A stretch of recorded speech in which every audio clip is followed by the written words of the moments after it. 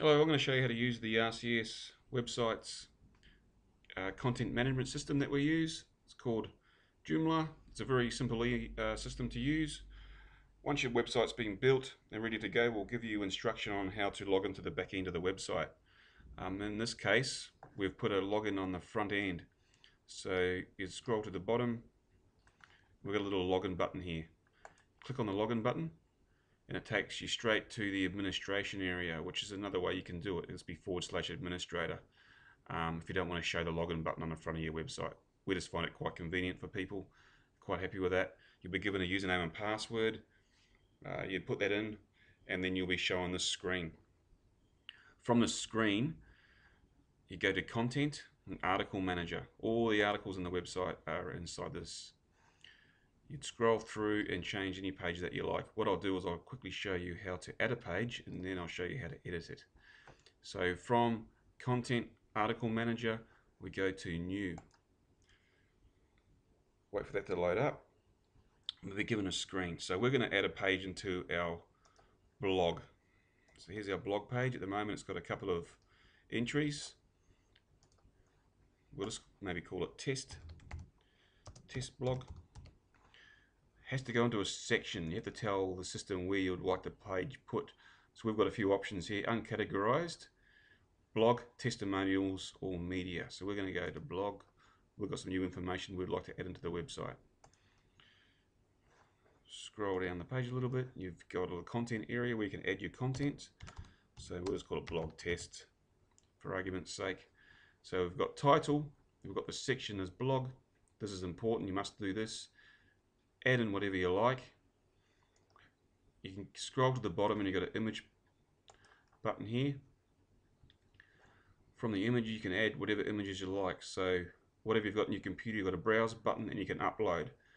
Once you've uploaded, they go into this folder. You can scroll for the images here. In our case, we might just throw in this one here. It's an award. Give it a description. And then align it right if you would like to align it right, or you can align it left and insert. So that quickly this puts that little image into our article. If you will decide that you want it on the left, click the image, go back to this little image icon, align left, scroll down, update, and it's put it on the left. That's how easy it is to add an image into your article. Go to your metadata, um, and give the page a description. This is what the public will read in a search engine index. Don't worry about the search engines too much. Worry about your customers. Um, they're the ones who are going to be opening up your website. The search engines will follow if your content is good. So come up with unique content in your blogs and get people to follow you. Once you've done this, what you do is you go to apply. So we've got an apply button here. Apply keeps the page open so you can make changes quickly once we've uh, refreshed the page or save, we'll save it and close. We better, I always apply first. So I apply. We've got a successful article been added. We go back to the front of our website. I open it in tabs, so I've got the administration area open and the website open in tabs. You can do this however you like. Go back to blog and refresh the page, or just reload it. Once you've reloaded it, there's our blog entry. From here you can go, I'm not happy with the date being there, I don't want to show who it's been written by, I want to move the image to the right. So if that's the case, you go back to your administration area, your page is open, and we want to change our image to the right. Back to the image, align right. Scroll down a little bit and update. Image is on the right, that's been changed. We wanted to get rid of our author's name, so that's under parameters and we've got an area here for author's name. We want to hide that. What data was created. We want to hide that. If it's been modified, we want to hide that.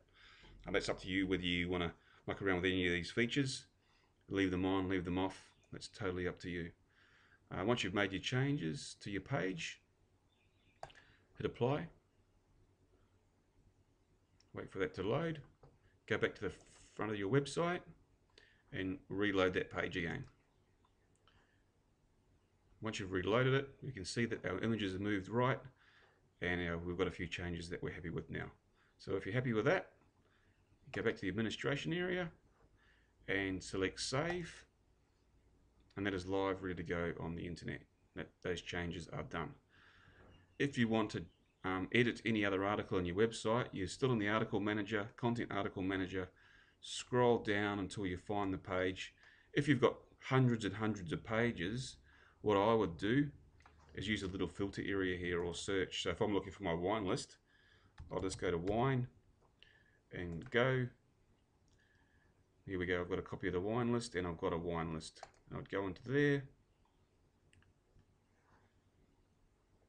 change pricing or anything I want to change inside my website. Just say for instance a bottle of wine has been taken off the menu or maybe this martini, you can just delete. Delete that out. Once you've made your changes, hit apply, check it on the front of the website and save. In our case, we're not going to save it. Um, we're going to close out. And really, that is pretty much all that you need to do to add an article into your blog or your testimonials or your media page. Um, and I hope that you find that simple enough. If not, um, you can give me a call or email, and I'm more than happy to run through anything that you need to know. Thank you.